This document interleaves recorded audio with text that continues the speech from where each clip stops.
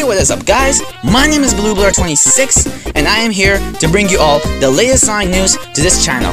If you enjoyed the video, make sure to leave a like, comment, share, and please subscribe for more awesome content.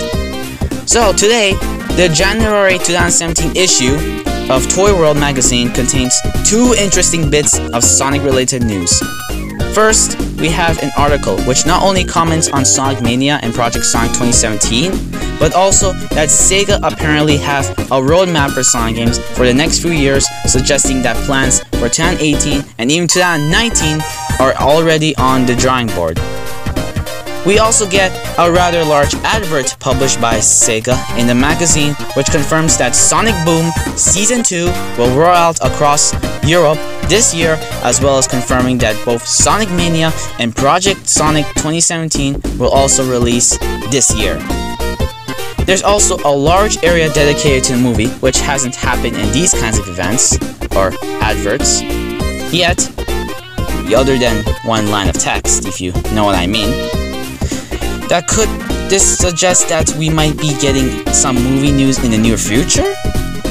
So, overall, with Toy Fair London and Toy Fair New York approaching, odds are we'll start to see more news regarding Sonic and his 2017 adventures soon.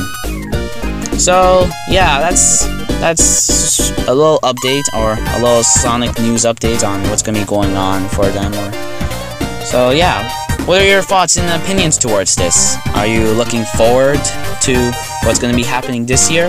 And you, are, you guys already know what's to be happening this year. Sonic Mania and Project Sonic 2017.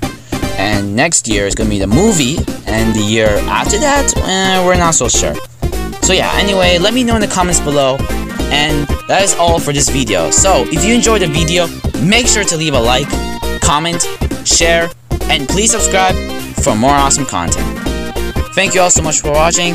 Thanks again. See you all, and have a great day. See you later, guys.